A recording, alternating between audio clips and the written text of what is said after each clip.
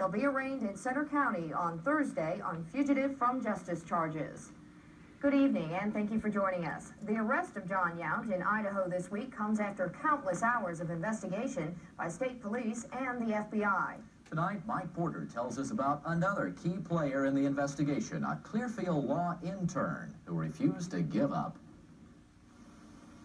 Mark Falvo was an intern in the Clearfield County District Attorney's Office last summer when he joined the Jon Yount investigation. Growing up in the Clearfield area, um, you usually hear the name uh, Yount, and uh, when I was working in the office, I had the opportunity to go through uh, the trial transcripts. And Falvo began studying the stacks of reports from Yount's conviction for the 1966 murder of DuBois teenager Pamela Sue Rimer to his escape from Rockview State Prison with the help of York County housewife Diane Brodbeck more than two years ago. Money for the investigation ran out, and law school took Falvo to Ohio, but his desire to solve the case grew stronger.